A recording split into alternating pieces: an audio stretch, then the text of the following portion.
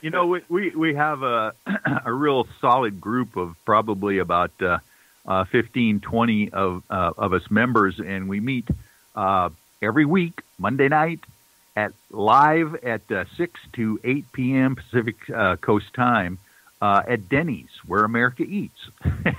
oh, boy. I wish I were closer to you. I'd love to attend one of those. Well, I know you would for sure. Uh, but I just wanted to also mention to people out there if they want to tune in and be a part of the meeting, they can just find us on uh, Facebook at UFO I Team with a lowercase i. Uh, and they can join our meetings any Monday night, uh, 6 to 8 p.m., uh, because we like to share what we talk about and, and what we do. You know, uh, matter of fact, when I heard that that back in the 70s, when Russell Targ, Jacques Vallée, and Kit Green decided to get together to talk about you know their UFO uh, investigations, they met at Denny's themselves. So I said, hey, if it's good enough for them, it's good enough for me. So.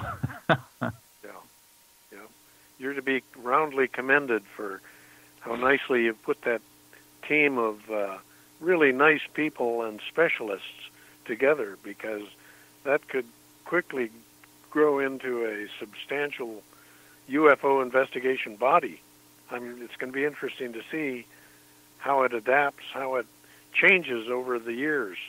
I hope I wish you all the success in the world. Well, thank you also, Peter. And when, yeah, I just want to give a shout out also to some of our scientific consultants out there. We've got uh, Dr. Richard Haines on board, you know, from the NARCAP, uh, you know, reporting center, and and Dr. Marilyn Childs as well is involved with the UFO I team. So I just want to say hello to them if they're listening out there. And and Peter, then again, this has just been wonderful. I can't believe how fast an hour goes when we're talking with you.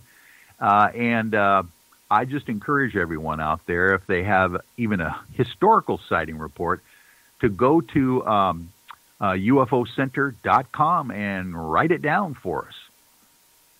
Good. Thank you for that comment. And it's always fun to work with you. You're a wonderful host, and I look forward to many more programs over upcoming months and years. Well, wonderful.